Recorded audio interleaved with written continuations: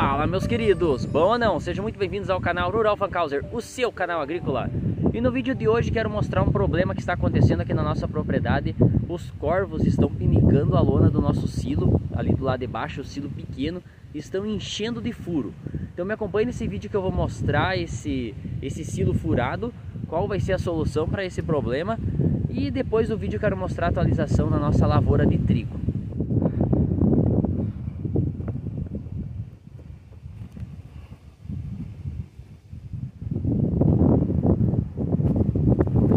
hoje, vento de inverno. A altura desses eucaliptos. 1,60 metros de altura ou mais. Provavelmente a gente vai fazer tábua deles para fazer a parede do silo. Vamos fazer as paredes de tábua de eucalipto. O silo que foi furado. Vou mostrar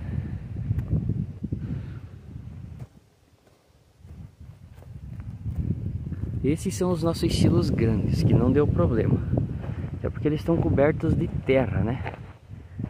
Estou vendo que tem um pouco de, de cocô aqui em cima, cocô de corvo. Vamos ver se vai pegar.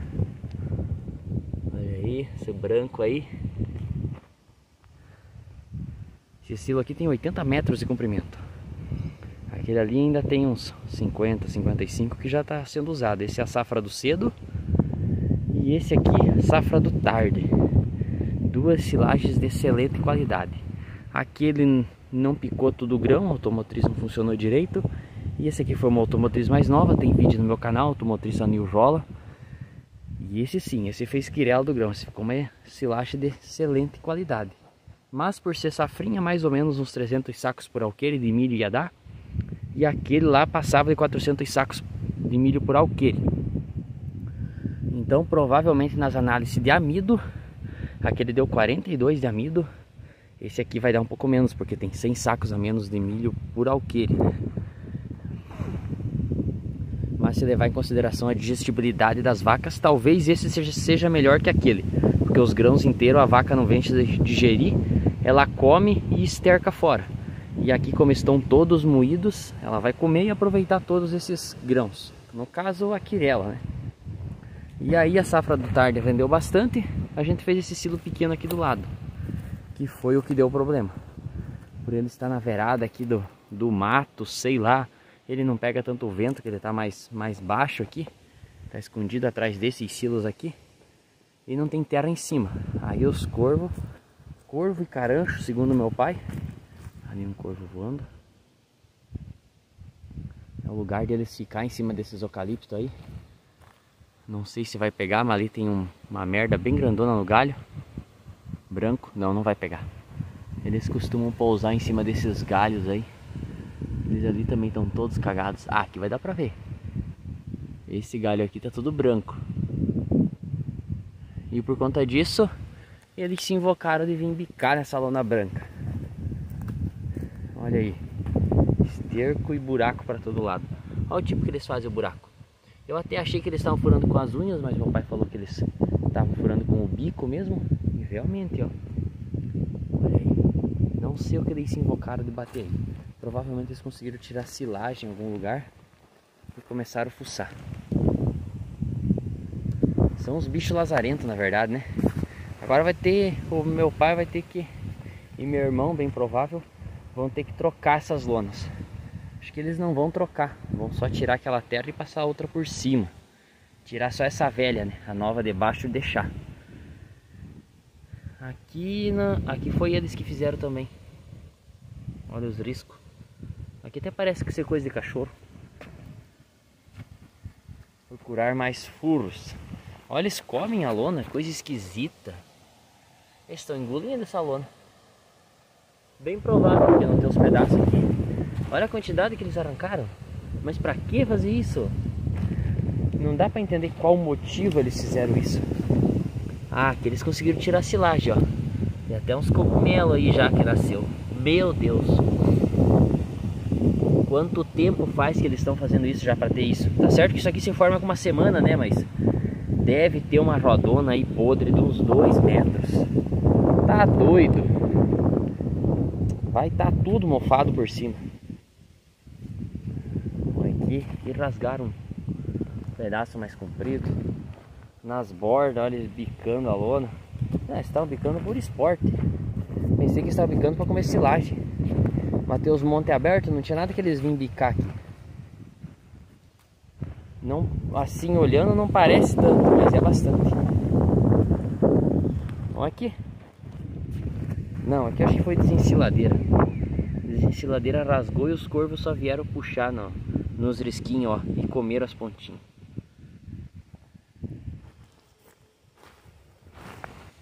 É, furo, furo na lona de baixo não tem tantos, mas é a lona de cima aqui. Eles picotaram tudo. Estranho eles fazerem esse tipo de serviço aí. E é um silo, não parece ser grande, mas tem bastante silagem aqui embaixo vai ter as manchas podres. A gente caprichou tanto para cobrir para não acontecer isso. Fazer o que? Faz parte. É a natureza, né? Não sei como vamos resolver, que a gente vai cobrir, eles vão voltar a furar. Vamos ter que inventar alguma outra coisa, um espantalho, sei lá. Se bem que eu acho que espantalho não vai adiantar, capaz de eles virem comer o espantalho. Meu pai indo lá no fundo, ele acabou de passar aqui vai roçar um pedacinho de potreiro que tem lá atrás. Na volta ele falou que vai cobrir com outra lona com lado preto para cima. Que quem sabe eles parem de cutucar a lona. Eles estão cutucando a parte branca, daí como ela fica preta por baixo, que ela é dupla face, eles começam a puxar para achar a parte preta. Eles fazem o furo, eles passam para o próximo furinho. Então ele fazendo isso, quem sabe vão parar. Ele falou que vai testar. Só para vocês entenderem como que funciona, a gente cobre o silo assim. É a lona nova que vai por cima da silagem. Aí é vedado com terra nas laterais. E depois é passada a lona velha por cima e coberto com terra aparelho. Esse silo aqui foi feito finalzinho de janeiro deste ano, então nós estamos no mês 7, seis meses atrás. E depois das chuvas é isso que sobrou em cima de terra silagem aqui de excelente qualidade, como eu já falei, só para mostrar. A nossa desensiladeira está com os problemas que não chega perto do chão, sobra uma bordinha. Mas é isso aí, fica assim, lonas nas laterais para não encostar naquela terra, aquela terra ali, porque senão mofa. E no fundo nunca estraga, o fundo é bem compactado, então não entra oxigênio, não acontece problema nenhum. Esse silo aqui já faz 60 dias mais ou menos que está pronto. Choveu bastante já em cima dele, mas a terra tá durando, hein? Olha quanta terra ainda tem em cima. Quem tiver curiosidade e ainda não assistiu, eu tenho um vídeo, uns 10 vídeos atrás mais ou menos, fazendo essa silagem e cobrindo esse monte de silagem aqui. Vídeo específico só cobrindo ele. E vocês verem como que a gente faz, bem em detalhes. Era isso que eu tinha para mostrar sobre os silos aqui. Agora vamos caminhando até na lavoura de trigo para ver como que está. Eu quero mostrar específico o pedaço que a gente tinha tifto há um ano e meio atrás. Está na segunda safra agora, em cima ali onde tinha essa tifton, que era, para quem não conhece, é grama que as nossas vacas pastavam. Tem vídeo da gente soltando as vacas também nessa tifto, depois a gente destruindo ela para fazer lavoura. Mas isso são vídeos antigos de um ano e meio atrás. Então roda bastante aí o canal que você vai achar bem em detalhes isso. Só que é um pedaço de terra que tem bastante matéria orgânica e dá diferença na planta. É isso que eu quero ir lá ver agora. Quão mais bonito está o trigo em relação aos outros pedaços. Escutaram a coruja? Ó a bichinha ali sentada em cima da pedra. Isso é muito bom para acabar com os ratos aqui no nosso sino. A outra voa no galho do eucalipto lá. Tá liso já dela ficar em cima. E elas pousam em cima dos palanquinhos, ó todo sujo aí. Ah, aqui tem um buraco delas, ó. Acabei de achar. Tá vendo? Elas ficam aí dentro desse buraco. Os filhotes. Elas criam os filhotes dentro dessas tocas. E elas estão aqui por um único motivo. Tem rato nos silos. E elas comem rato. E aí elas ficam aqui e ficam caçando os ratos. Controla aquelas praguinhas para eles não ficar furando a lona. Então, negócio bonito e que evita prejuízos para nós. Aqui meu, meu irmão e meu pai estão arrumando essa lenha para vender, lenha de eucalipto. Era a careira que eu tinha aqui para fazer sombra para as vacas quando elas vinham no pasto. Era uma careira aqui e outra que descia lá no fundo onde acaba a grama e começa o trigo. Ainda tem essa careira de eucalipto aqui no meio do piquete das novilhas, que isso aqui era piquete de vaca seca e novilhas antes de eu fazer o confinamento das vacas. Hoje em dia é só para as novilhas. E se tudo der certo, daqui uns 40, 50 dias, vai se iniciar a construção da nossa nova sala de alimentação. E aí vou confinar até as novilhas e isso aqui vai virar tudo lavoura. Por conta disso, meu pai e meu irmão já estão se adiantando, caso dê certo, tirar essa madeira daqui, porque os eucaliptos estavam amontoados inteiro aqui, os varão comprido. E querendo ou não dar um trabalhão arrumar isso aqui, é um negócio trabalhoso, cansativo. Já fiz muito isso na minha vida de amontoar lenha de eucalipto. Fazia os careirão de 200 metros de comprimento. O negócio dá trabalho, hein? Não tenho vontade nenhuma de fazer isso. Mas é isso aí. Tem que fazer de vez em quando. Alguém tem que fazer. Tá na sagrada e velha jogada aí. Crescendo grama por cima. Essa aqui eu acho que nunca vi um coberto. Tá tudo torto aí de ficar engatando o trator grande e fazendo trabalho pesado com ela. Mas vamos andar até lá no fundo agora olhar o trigo. Estou aqui no outro dia de manhã. Acabei perdendo os vídeos que eu fiz na continuação que eu falei para vocês que ia mostrar o trigo. Então voltei aqui para concluir esse vídeo. Olha esse eucalipto aqui, ó. Seco.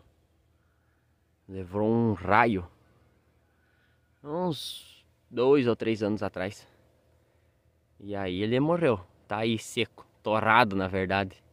Começou a apodrecer, agora caiu os pedaços. Chegou, derreteu tudo. Tinha cerquinha elétrica embaixo, ainda tem, né? Mas derreteu tudo o fio. Derreteu, acho que em 50 metros de fio.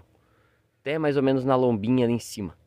É, o fio derreteu inteiro. Fio de arame, esse fio elétrico sumiu. As rondanas derreteu boa parte.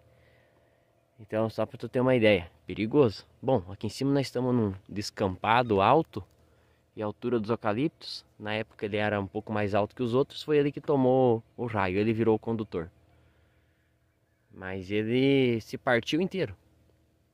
Dá pra ver que ele é tudo torcido, tudo meio trincado por conta do raio. Então é um lugar propício para levar raio aqui. Quando o tempo começa a ficar muito feio, que a gente está trabalhando com o trator aqui, a gente pega e vai embora. Não fica com a máquina no meio da lavoura. Por ser aberto, o trator é o ponto mais alto e ainda de metal, ele é um ótimo condutor e é perigoso. Então quem trabalha em lavoura tem que tomar esse cuidado. Um tio meu há um tempo atrás que trabalha numa lavoura mais alta que a minha aqui ainda. A altitude dela é muito maior. Ele estava trabalhando com... Ele tem um John Deere com gabine. E ele tava com a grade engatada atrás, tomou um raio no trator. Derreteu toda a parte elétrica, o trator ainda funcionou um tempo, ainda chegou na garagem, mas depois não ligava mais, porque derreteu a parte elétrica.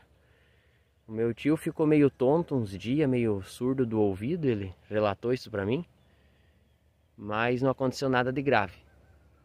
Mas é um perigo, é um grande perigo. Olha, é manchado, então esse aqui é um trigo bem feio as nossas lavouras não estão assim. Mas também não estão assim. Olha aqui, parece uma salada. Esse tá bem alto, bem bonito. Olha só. Aqui é uma emenda de carreira, então não conta. Olha quanto pé de trigo. Tem demais. Vamos achar um lugar que não tem emenda. Aqui não tem emenda. Bem saudável. Ele perfiou. Aí o pezinho. O restante da lavoura não está tão bonito como esse pedaço. Mas aí, por conta desse pedaço ser bonito, ele é manchado. Ó, tá vendo? Uma listra amarela menor, que as entradas do piquete eram os corredores das vacas, as lombinhas onde a chuva lavava a matéria orgânica. Então aqui dá para ver as manchas. a outra lavoura não é manchada mas o trigo não tem esses pedaços super bonitos assim, que é provavelmente onde as vacas deitavam mais, que tem mais matéria orgânica, tem mais esterco. E aí fica, trigo, olhar de longe assim, nossa, tá feio, tá manchado. Mas não é, é que tem umas partes que estão fora do comum, estão exagerado e bonito. Aí por isso que fica todas as manchas. Ah, e tem uns pedaços, né? Aqui tem um formigueiro gigante. E aí também não vem trigo. E pra lá, ó, onde sempre foi lavoura, Tem umas manchinhas dá pra ver, mas tá bonito demais. E aí...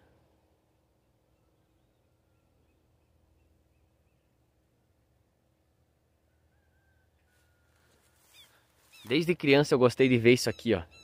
Buraco na nuvem e sai um raio de sol para baixo quando tá nublado. Fica bonito demais, dá só uma bolinha de sol. Lá tem outro, lá é maior, daí não dá pra ver o raio. Mas aqui dá pra ver o raio de sol bem certinho. Só quem mora em lugar alto consegue ver essas coisas.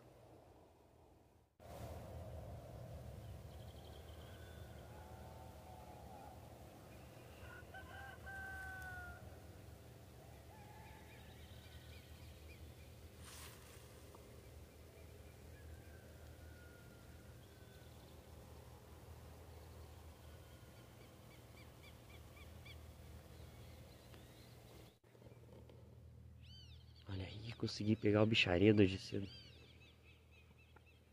Então é de manhã cedo que vocês me furam a onda.